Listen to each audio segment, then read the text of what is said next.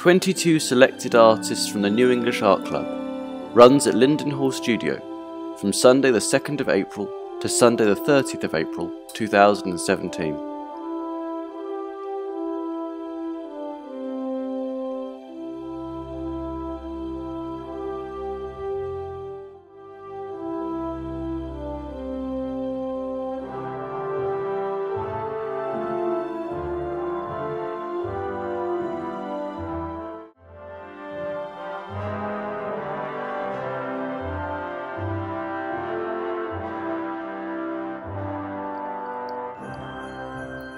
Since its foundation in 1886, and seeking an exhibition platform beyond the Royal Academy, the New English quickly began to draw in younger painters who had come under the spell of Impressionism and Post Impressionism in France.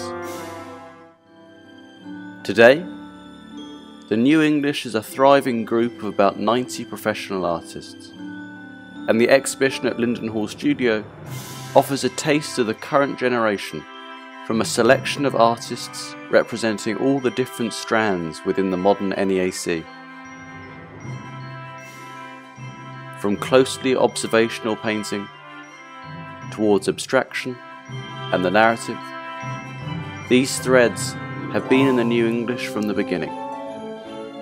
But a shared sensitivity to the seen world and a delight in really looking brings us together and gives the vibrancy and energy to this exhibition.